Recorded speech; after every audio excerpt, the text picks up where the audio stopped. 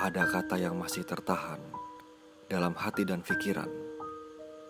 Wahai wanita yang bergegas pergi dengan tergesa, sulit untuk mengungkapkannya.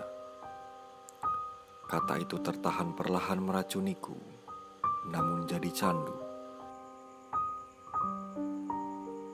Debur angin, dingin malam, terbakar pada api pucuk tembakau. Ada rindu yang kusesapi di setiap lamunanku untukmu. Aku pun sering bertanya-tanya dalam lamunanku itu, apakah kau juga merindukanku?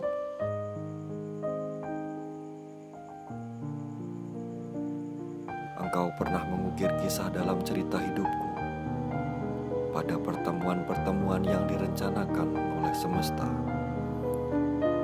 Aku melihat ada kasih sayang pada setiap gerak-gerikmu yang hatiku sudah pasti jatuh karenamu. Mata kita pernah saling bertemu dengan sangat tajamnya. Aku melihatnya sangat dalam. Ada matahari pada sorot matamu yang memancarkan sinarnya sangat tulus.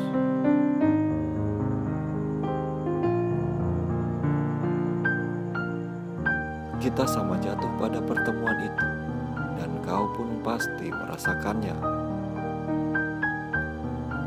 Pipimu memerah panas, senyummu menyayat, tatapanmu menusuk. Jiwaku terbunuh karenamu.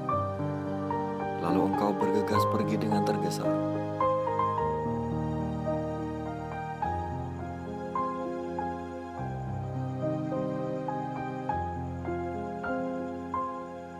Alam semesta dengan segala isinya, bumi Nusantara dengan segala keporak-porandaannya, jadi saksi pertemuan kita berdua.